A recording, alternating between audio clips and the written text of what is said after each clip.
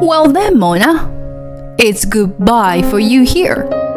With a loud voice that could match the seabirds echoing in the harbor, my mother in law said, What do you mean? We are going on a luxury cruise with the four of us, right? As I said that, my mother in law twisted the corner of her mouth and continued with an even nastier expression. Did you think that someone like you, who is worse than a housekeeper, could come with us on this cruise? How shameless of you! You're just a payment clerk. A useless daughter in law doesn't need entertainment, and you can't spend a vacation at the same level as us. You're so stupid for not even understanding that. I didn't say anything to her terrible arguments. In everyday life, where I was always being bullied without anyone on my side, I had already given up hope. My mother in law laughed rudely and got on the ship in a vacation mood. Beside her, my father in law and husband didn't say anything. I stared at the three of them in silence, and as soon as the ship departed, I waved my hand and shouted loudly, Goodbye! I wish you good luck! Upon hearing that, my mother in law started shouting at me, but I just shrugged it off. You are about to embark the best trip I have set up for you. Well, it's the best for me anyway. Enjoy the revenge that I have planned for you, disguised as a surprise. The details will be revealed once you arrive. My name is Mona, a 38 year old working housewife. I work as a clerk at a medium sized enterprise. I have been married to Andrew for seven years.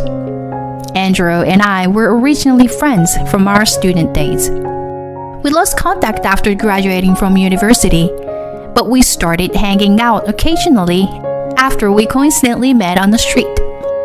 We started to develop feelings for each other and began dating about a year after we reunited. Andrew told me a secret shortly after we started dating. He revealed that he was infertile. He said with a gloomy expression, If I'm with you, we won't be able to have children. However, I wasn't bothered by it. I never really wanted to have children myself. And I thought that if we didn't have children, we could still find our own happiness.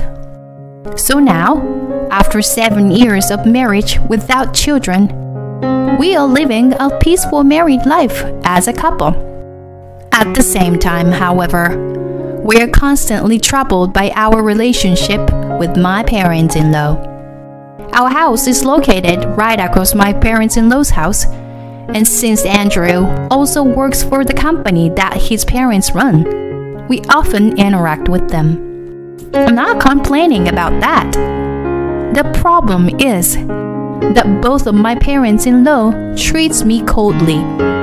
My mother-in-law has always spoiled Andrew, so she seems to dislike me and treats me like a nuisance. She also tries to push household chores onto me, which is a common story. Mona, I'm busy with work, so you could do the laundry and cleaning for me. Oh, you don't have to cook. I can't eat the food you make anyway. I'm sorry, but I also work full time, so it's difficult for me to do it. What? How dare! Talking back to her mother in law. You are not fit to be my son's wife. Pack your bags and leave now. In addition, it's tricky because my father in law is also the type who sticks to old ideas. Until when are you planning to work, Mona? You're getting old, so have a child quickly. Seriously, what kind of education have you received so far? Even so, time have changed. You can have a happy home without children. That's not the issue. If you say things like that, I'll contact your company tomorrow and have you quit your job to have a child. My in laws are stuck in old days, which makes it difficult. I try to respond politely, but they give me twice as much in return. So I just ignore them. Andrew acts like he doesn't know anything about their behavior. He is mild mannered and doesn't like conflict, but that's not always a good thing. He thinks that if he supports me, he doesn't know what his parents will say. So, he pretends not to see it and sometimes even agree with his parents. I hate to say it, but most of the reason we don't have children is because of my husband's infertility. Andrew asked me not to tell his parents, so I didn't. Yet, I'm sad that he doesn't defend me when they criticize me. Despite all this, I still love Andrew. He's a good husband who makes dinner for me when I come home late and makes time for us to go out on weekends. We both love traveling and have visited many places in our seven years of marriage. One day, my husband handed me a brochure. Mona, don't you want to travel in a luxury cruise ship? I have never been on one before, although I have been on a ferry. That sounds like a lot of fun. But we can't come up with that kind of money right away. Well, let's plan to go in two years then. Let's save up and work together until the summer of two years from now. Well, he's right. We should be able to save enough money in two years. Okay, let's do that in two years. From then on, my husband and I focused on saving money. We tried not to buy anything we didn't need and did everything we could to save money. And then, when it was six months until the trip, my mother in law suddenly visited our home as usual. Hey, hey! I heard that we are going on a luxury cruise ship, right? Have you already made reservations? If you don't hurry, you won't be able to make a reservation, will you? While I was surprised by my mother in those sudden words, I asked her what I was wondering. How do you know? We're going on a trip. Then Andrew, who was sitting in front of me, scratching the back of his head, said, Oh, I told mom. We are going to be away for more than 10 days, so it's natural, right? Yeah, I understand that, but if they find out before we make a reservation, they might say they want to go they want to come with us. And I wanted to keep it a secret from my in laws. My inner voice was in vain, and my mother in law continued speaking. Work is a little busy at the moment, but it's okay to have fun once in a while, right? I couldn't believe it, but my mother in law grinned and I asked, Um, are you planning on coming with us too? when I asked. My mother in law gave me a sharp look. What? Of course we're going. My husband will come too. It was an unbelievably audacious statement. I wanted to go on a trip with my husband alone, not with my in laws. I stared at Andrew, desperate for him to refuse. I wonder how long it's been since we had a family trip helpless. I could only sigh as he casually began to speak. From then on, my in-laws frequently visited and made requests about the trip. I thought about asking Andrew, the one who came up with the idea, to make the reservations, but he avoided me by saying he was busy with work. About a month before the trip, a certain incident occurred. Andrew went out for a business dinner and didn't come back even after midnight. I became worried, and I took the car keys to go to the restaurant where the dinner was being held to pick him up. Just then, the front door opened forcefully. I'm home. I'm tired. I'm going to bed. Andrew took off his jacket and went straight to the bedroom. I was worried and had stayed up until late at night. But he was acting as if nothing had happened. Feeling lonely, I picked up his jacket and something fell out of the pocket. I hurriedly picked it up, and it looked like a small gift box. A message card was stuck between the ribbon. Without thinking, I looked at the card, and there were unbelievable words written on it. Thank you always, Andrew. I love you. My blood ran cold. Various questions circled around in my head. Who was he meeting with just now? Who gave him this gift? What does this message mean? As I continued to think about it, I couldn't sleep and spent the night in the living room. The next day, my husband woke up carelessly with a big yawn. I presented the gift box and message card to him. What is this? Where were you yesterday? It wasn't a business meeting, was it? Andrew immediately opened his eyes and looked surprised. No, it's not that. It's just that, um, as thanks for helping her with work. I see. That's quite a passionate thank you, saying I love you. When I said this, Andrew started stammering and repeating words. No, that's not it. It's just that. Feeling fed up with the situation, I decided to leave my husband and go to work for the time being. I still felt uneasy, but I managed to finish my work. At lunchtime, when I turned on my smartphone, I saw that there were a lot of missed calls from my in laws. Just as I was feeling annoyed, my mother in law called me again, so I had no choice but to answer. Hey, Mona. I heard that you suspect Andrew of cheating on you. Our child would never do such a thing, you know? Even if he did cheat on you. That's just a man's instinct. Um, excuse me? After my mother in law spoke in a forceful manner, my father in law immediately took over the phone. That's right. If anything, it's your fault for doing something to make him cheat on you in the first place.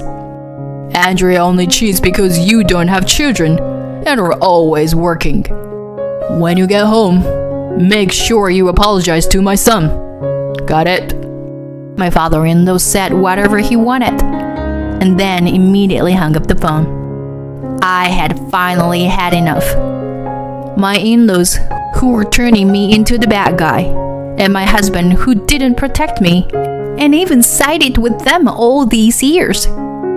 I finally decided to execute the plan I had been thinking about for a while. And finally, the day of departure of the luxurious cruise came. My in laws and Andrew got in the car with smiles on their faces. I was going to drive to the port and board the ship from there. I secretly felt excited. It's going to be a great trip. While holding back my urge to laugh, I drew up the car towards the port. The port was surprisingly quiet and empty. I unloaded everyone's luggage and headed towards the pier. I smell the sea. Andrew is acting carefree and childish. Then, at the moment, my mother in law approached me with a big smile on her face. Thank you for making the reservation, Mona. Let's meet again in two weeks. Please pick us up. What do you mean? We are going on a family trip with four of us, right? My mother in law twisted her mouth and made a malicious face and continued. Oh, a daughter in law is just a stranger to us. Don't you get it? As long as you pay the money, we're good. I didn't say anything. My father in law and husband were happily flipping through travel magazines. Andrew noticed my gaze, shrugged his shoulders, and said shamelessly, It seems to be like that. By the way, I can't see a luxury cruise ship anywhere. Where is it? My mother in law looked around suspiciously. There don't seem to be any other passengers either. Did you get the correct location, Mona? Don't worry. Please enjoy yourselves from here on. I led the three of them onto the boat. Is this really the right ship? My father in law muttered, looking at the boat in front of him. It was a small boat that seemed to be full with just 10 people. So I explained to them You will transfer from this boat to the luxury cruise ship. It's a security major, they said. So, don't worry.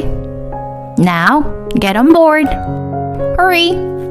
I forced the three of them onto the small boat with their luggage. Well then, please take care. I called out to the boatmen, and they departed.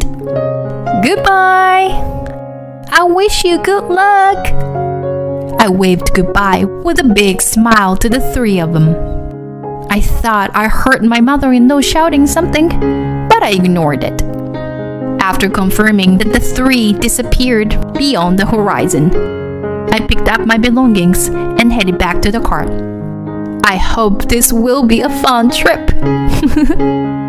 Later, I returned home and immediately gathered my clothes, appliances, and furniture that I had bought before getting married in one place. When I finished this task, my phone rang. It was my mother in law. You! How dare you deceive us! There is no such thing as a luxury cruise ship! Where the hell are we? My mother in law was so flustered that I couldn't help but laugh. After laughing for a while, I decided to answer her question. There was never a luxurious cruise ship to begin with. My mother in law was shouting something, but I continued. I expected you to leave me behind, so I didn't make a reservation. Do you think you can get away with this kind of thing? Where are we? I can call the police, you know. Now my father in law's voice could be heard. The police? That's a bit extreme, isn't it? It's your wife's hometown, isn't it? I just brought you to her hometown. Did you get to see Aunt Mel? Once again, my mother in law shouted. Uh, what did you say? Aunt Mel, your older sister Mel. I talked to her, and she said to bring you guys there. She'll probably do you guys super well, you know.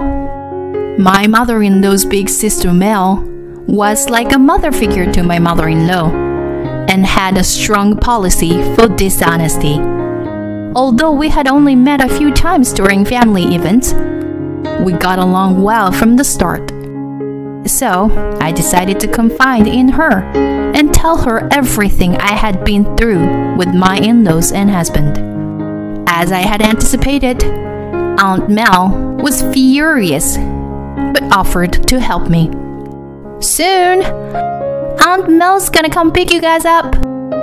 Have fun! I said that and ended the call. Soon after, I moved to a new apartment closer to my workplace, which made my commute much easier.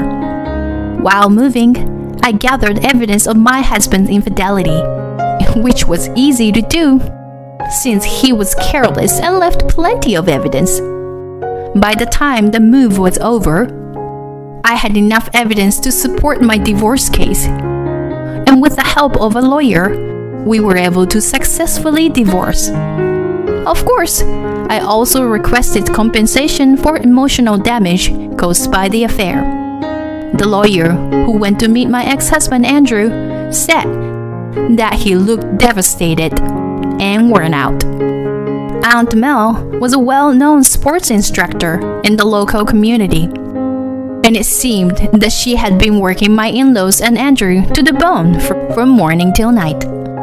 They were now living a life that was as demanding as the life they had forced me to live. Aunt Mel said that if they genuinely repented, they could be released from their duties. However, my in laws' family business had practically gone bankrupt, and they had nowhere to go. It was no longer my concern, though. I just hope that I would never have to see them again. On the other hand, I recently met a kind and understanding man who accepted me, including my divorce and everything that led up to it. Once his work is less busy, we plan to get married. Although my path to happiness may have been long and winding, I look toward to living a happy life with someone who always puts me first.